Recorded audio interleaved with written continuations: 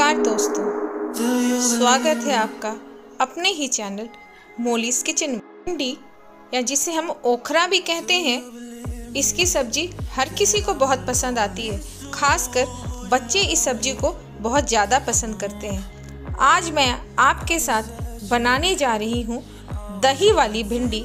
एक बहुत ही अलग हटके रेसिपी है और ये बच्चों को बहुत पसंद आती है। स्टार्ट करते हैं दही वाली भिंडी बनाना।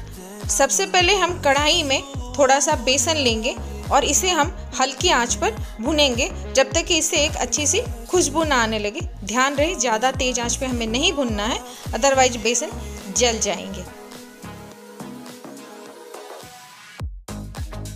हम लेने वाले हैं दही।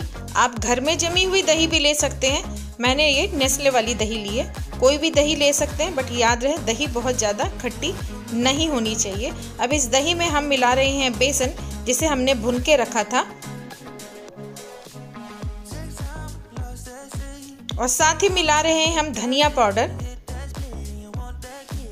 मिलाएँगे जीरा पाउडर, थोड़ा सा गरम मसाला और देगी लाल मिर्च, जिससे कलर अच्छा आएगा। अब इन सभी तैयार मसालों को हम अच्छी तरीके से मिक्स करके एक साइड में रख देंगे।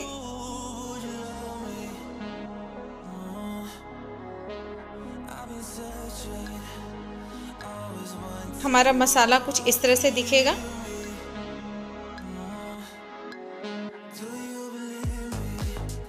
अब चलिए हम कढ़ाई में तेल गरम करते हैं। यहाँ पे मैंने मस्टर्ड ऑयल यूज़ किया है।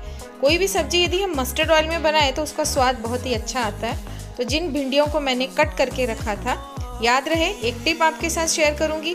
जब भी हमें भिंडी बनानी हो, उसे हमें पहले धो के, एक सूखे कपड़े से पोछ लेना चाहिए, उसके बाद उसे काटना चाहिए। तो ये देखिए, मैं भिंडी कढ़ाई में भून रही हूँ, और आँच बहुत ज़्यादा तेज नहीं होना चाहिए। मीडियम फ्लेम पे ही हम करेंगे इसे।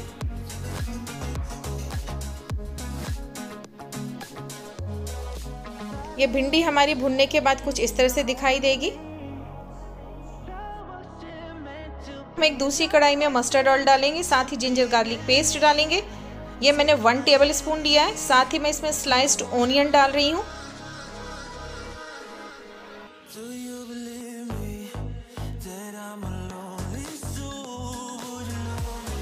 प्याज हमें थोड़े बड़े बड़े ही काटने हैं और इनको हमें लो मीडियम फ्लेम पे अच्छी तरीके से भुनना है। साथ ही इसमें ऐड कर रही हूँ मैं नमक स्वाद अनुसार और टोमेटो पेस्ट डाल रहा है मैंने और इन सभी मसालों को अच्छी तरीके से सॉटे किया।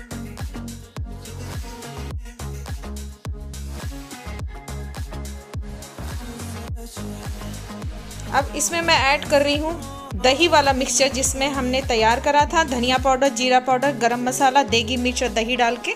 अब इन सभी मसालों को हम अच्छी तरीके से सॉटे करेंगे। लो मीडियम फ्लेम कंटिन्यूस चलाते रहना है क्योंकि हमने इसमें दही डाला हुआ है। अदरवाइज़ दही हमारी फट जाएगी। जब मसाले पक जाएँगे तो ये ऑयल रिलीज़ करेंगे। अब इसमें मैं ऐड कर रही हूँ पानी। साथ ही ऐड कर रही हूँ हल्दी पाउडर जो मैं पहले डालना भूल गई थी।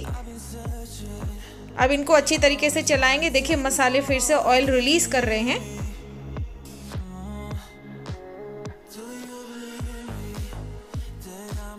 अब इसमें जो हमने भिंडी फ्राई करके रखी थी, वो भिंडी हम इन मसालों में ऐड करेंगे। और हल्के हाथों से भिंडी को इन मसालों के साथ हम मिक्स करेंगे। ध्यान रहे, हमारी भिंडी टूटनी नहीं चाहिए।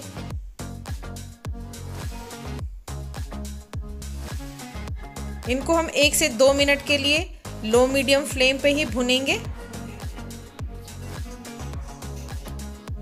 अब इसमें फिर से मैंने पानी डाला है ग्रेवी के लिए। ग्रेवी की थिकनेस आप अपने हिसाब से कम या ज़्यादा कर सकते हैं। ये देखिए, दो मिनट उबलने के बाद हमारी सब्ज़ी में से ऑयल रिलीज़ हो गया है। डेट मीन्स हमारी सब्ज़ी रेडी हो।